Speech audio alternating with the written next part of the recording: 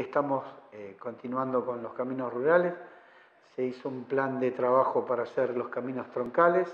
Hoy se está trabajando en el camino de la ruta provincial número 42, el llamado Camino Ancho Bragado, el cual se está haciendo un trabajo para poder eh, acomodar y permitir que se pueda sacar la cosecha que, se aproxima.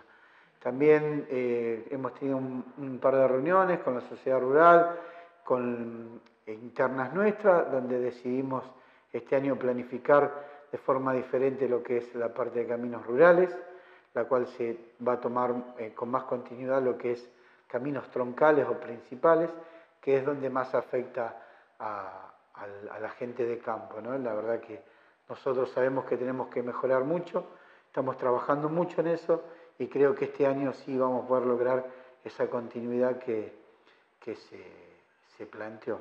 Nosotros hoy en día estamos trabajando con un tractor, con un disco y un rabasto.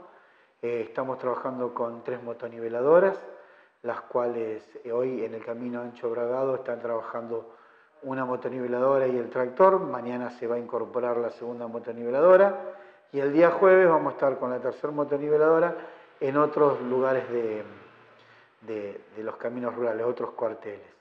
También se está trabajando mucho en conjunto con la delegación de Rawson para poner en marcha al fin la, motoniveladora que estaba parada hacía muchos años, lo que va a ayudar mucho a los cuarteles de, esa delegación a mejorar los caminos rurales. También se presentó y estamos en un proyecto tanto con Hacienda como con Gobierno para realizar la compra de un tractor, para poder darle eh, también una solución a los cuarteles de, la delegación de, Castilla, perdón, con la cual le vamos a, va a ir acompañado de una pala de arrastre para realizar los caminos rurales. Nosotros creemos que más o menos en 20 días vamos a estar eh, cumpliendo gran parte de esto.